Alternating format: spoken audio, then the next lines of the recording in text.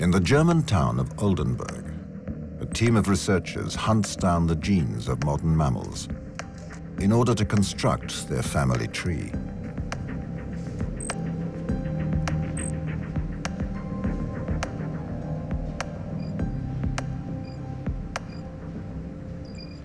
we can estimate by seeing how similar a gene is in two different species of mammal, how closely related they are.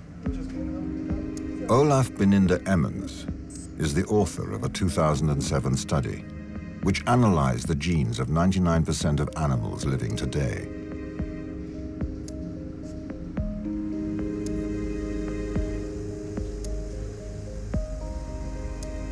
This mammoth task required eight months of DNA sequencing to track the genetic mutations of 60 markers throughout the evolution of mammals. The molecular data will give us a much more complete picture. We have DNA here for many more species than we have fossil data for.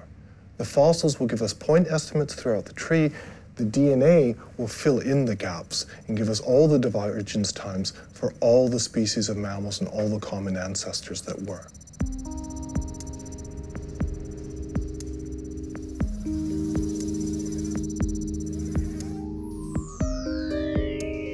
This method, called the molecular clock, shows that placental mammals separated from marsupials 160 million years ago during the Jurassic period then diversified during the Cretaceous period to form the current main groups, rodents, carnivores, and primates. An unexpected result, since no fossil of these early mammals has ever been discovered. This was interesting because there's a very big disconnect between molecular studies and fossil studies. In Pittsburgh, on the other side of the Atlantic, Another study offered very different results.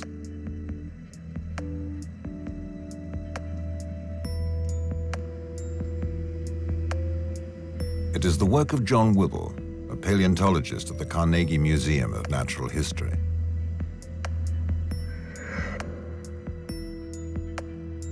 Its starting point was the discovery of a skull found in a 75 million year old deposit in Mongolia. Named Maelestes gobiensis, it has been studied from every angle since it does not belong to any known species. 400 of its morphological features have been compared to those of 82 fossil or living mammals. What we did is we looked at the individual morphological features of this animal across a broad array of other fossil forms and living mammals to try to figure out what it was, what it was related to. And our study supported the traditional view that there were no fossils living during the Cretaceous that were members of the placental group itself. There were only the ancestors of the placentals living. Which of these two studies should we believe, fossil or genetic? The molecular studies all tend to say that the crown group orders, rodents, primates, carnivores, bats, they all have their origins in the Cretaceous when the dinosaurs were still alive. The problem is there's absolutely no fossil evidence supporting this. Many of these modern groups, according to the molecular clock analyses, actually are, they should be present in the Cretaceous record. We can't find them.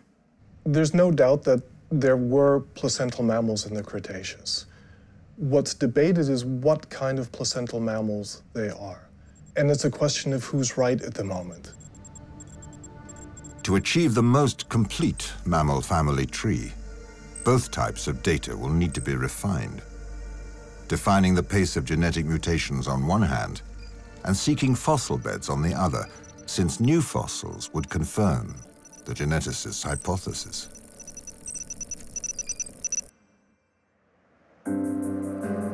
The meantime, paleontologists are also trying to understand how these early mammals protected themselves from dinosaurs.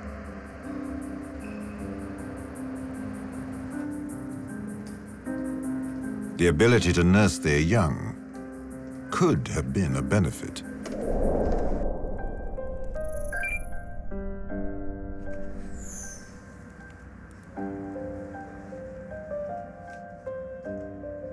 If we want to understand how modern therians come from, we need to look at modern therians' distant relatives. Zhangheotherium is a mammal that is even more ancient than placental mammals. This extremely well-preserved fossil was discovered in China in 1997. We can be relatively sure it is a mammal because it had fur, and associated with fur would be a whole series of reproductive features. And so we know that it must have nursed its fetuses, but we don't know if the fetuses was born either in an egg or a live fetus. Lactation offers an advantage when food is scarce, since the young continue to be fed thanks to their mother's body reserves. Lactation first appeared in the form of hundreds of milk-producing glands on the abdomen, just like modern platypuses. The young would lick the thick milk from their mother's hair.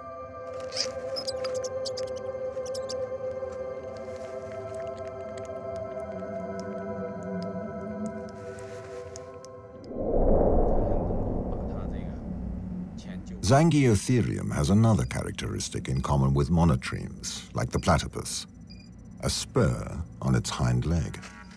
This species definitely has uh, another fossil that has preserved with a bony spur, and uh, it's also consistent with the first observation directly from this particular specimen. In modern monotreme, this spur is definitely used for self-defense, but uh, we do not know if it is truly poisonous or it's just a bony spur.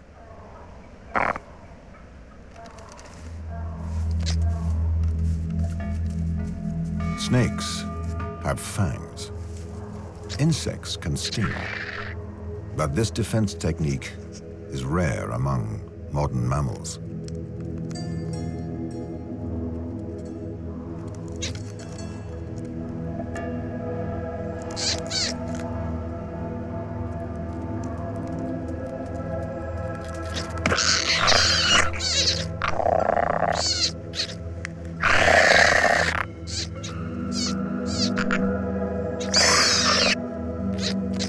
Located on the male's hind legs, this spur may have released a venom capable of paralyzing their foes.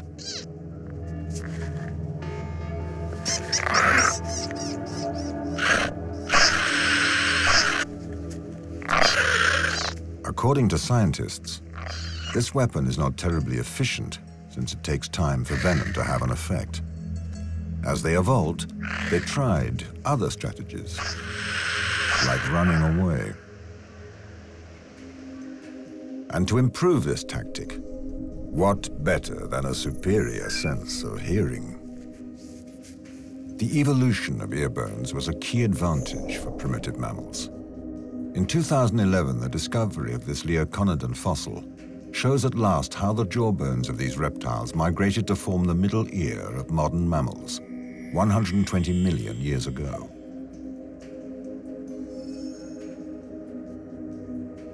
This specimen is the most complete mammal we have ever found in Western Liaoning. All the bones are preserved here. So it's a very beautiful specimen. Especially the, this specimen preserves some tiny bones of ear region. These ear ossicles usually is very difficult to be preserved in the fossils because it's very tiny. More important, it is a transitional stage of the mammalian middle ear evolution. In ancient mammals, the lower jaw was linked to the skull by an elongated bone. In Liaoconodon, this evolved to begin forming the ear bones. The hammer, anvil, and tympanic ring became completely detached in modern mammals to form the inner ear. Amazingly, every mammal embryo including humans, reproduces this evolutionary phase in the womb, resulting in the formation of the inner ear. This precision tool allows us to analyze everything that happens around us, constantly. Yes, you can hear the dangers earlier than the other kind of animals, so helps them to escape from the predator. The mystery of the inner ear bones, a link with our reptilian past, is cleared up thanks to this new fossil.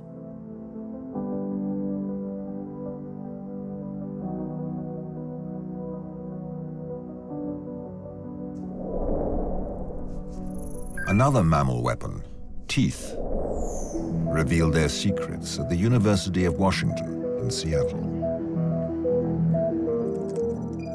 This is where Gregory Wilson uses state-of-the-art technology to analyze the teeth of multituberculates, mammal species that became extinct 34 million years ago.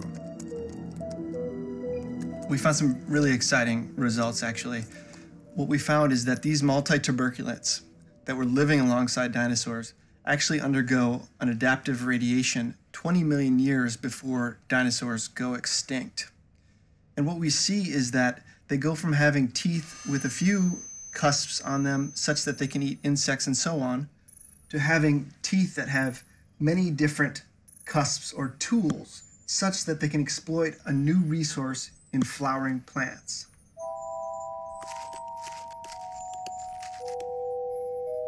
It's that ability to exploit that new resource that allows them to expand in terms of numbers of different species of multituberculates, as well as the range of body sizes that they have, such that they were able to survive the mass extinction that killed off dinosaurs. His study shows that multituberculates evolved well before the extinction of dinosaurs. They moved from an insect-based diet to a diet based on fruit, or even angiosperms, flowering plants that appeared during the Cretaceous period.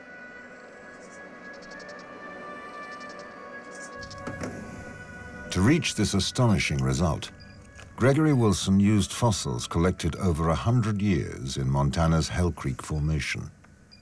By studying this collection of tiny teeth under a microscope, he was able to familiarize himself with the many species of multituberculates.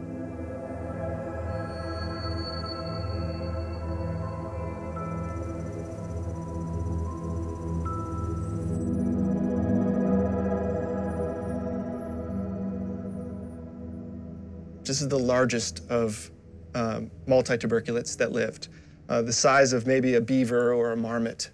Uh, and it has many, many bumps all along the tooth row. And those bumps act as tools to crush and grind food.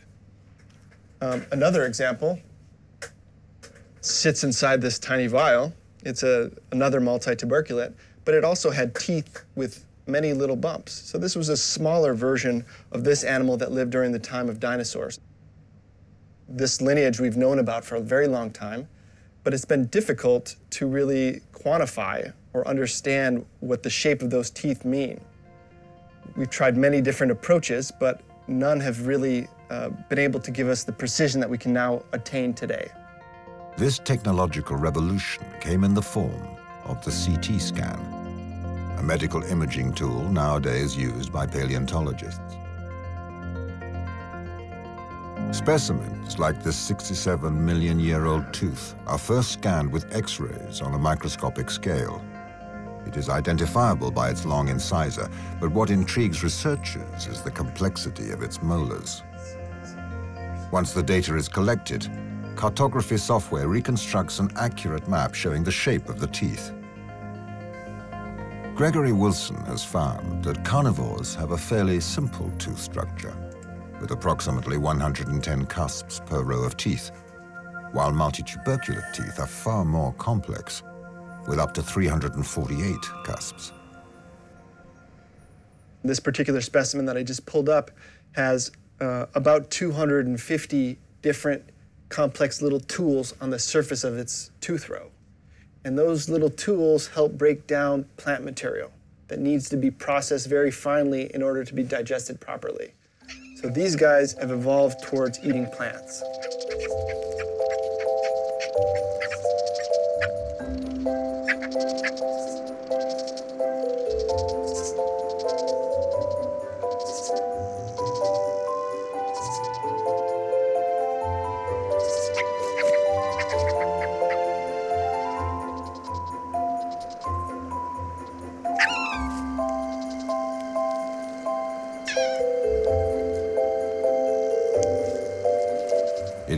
Key function of grinding which promoted the explosion of herbivore and omnivore species, an ecological niche untapped by primitive mammals.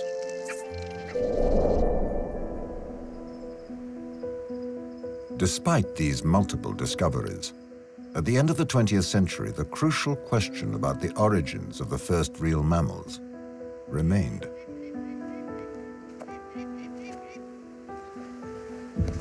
Once again, the Liaoning region provided the answer.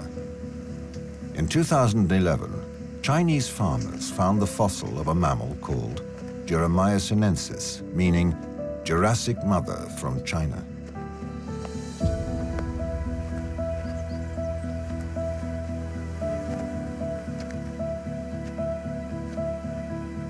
The paleontologist Zhe-Xi Luo has come for the first time to visit this area, which stretches over several miles.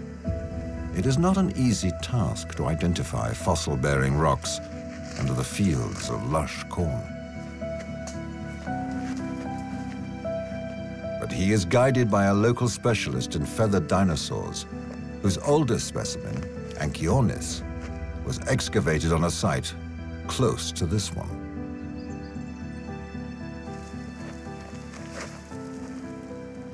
It's exciting fossil discovery because it gave us a new milestone as to when the placental lineage first start to appear on Earth.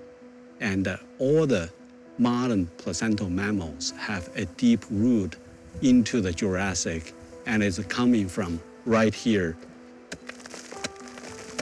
These rocks also are embedded with volcanic ashes, and this site had been dated by geochronology to be 160 million plus or minus a little bit. So we know for sure these rocks actually belong to the late Jurassic. The Juramaia sinensis fossil is the oldest specimen of a placental mammal and is a critical piece of the puzzle in the evolution of mammals. Was identified by its teeth, which included molars, canines, and incisors. As the genetic studies of living mammals showed, their origin is much older than existing fossils had suggested, since the discovery of Juramaia means that placental mammals must have appeared at least 35 million years before Eomaia scansoria. And even though paleontologists are still seeking fossils from the Cretaceous period, belonging to current groups like rodents or carnivores, this discovery brings the conflicting opinion of geneticists and paleontologists closer together. Independent corroboration by fossils on one hand and by molecules on the other gave us the confidence that we are getting closer to the correct answer. With Juramaia, we know that 160 million years ago, mammals already had the characteristics that made them successful fur, complex teeth, and acute hearing to escape predators and locate their prey.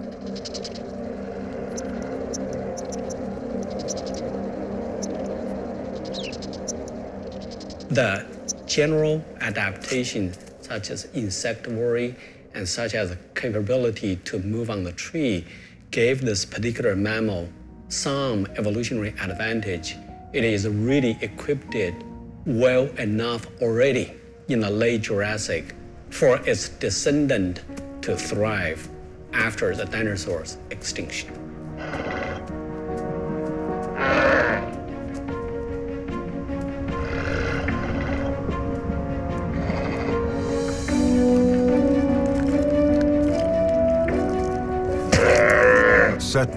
Mammal's ancestors were very small in the time of dinosaurs but much more varied and better equipped than was previously thought. With advantages that we find later in primates, our closest relatives.